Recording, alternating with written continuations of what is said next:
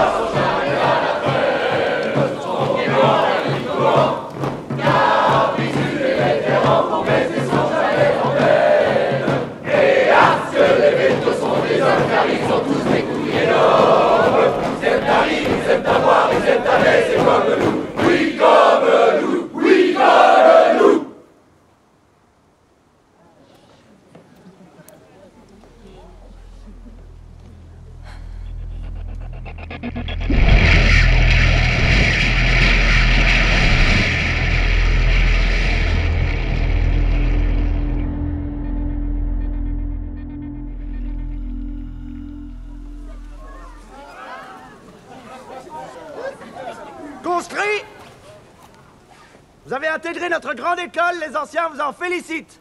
Vos professeurs feront de vous l'élite des médecins vétérinaires et vos anciens vous aideront à devenir une famille pour la vie.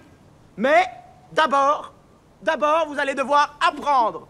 Apprendre à être unis, apprendre à obéir, apprendre à être de bons bisous.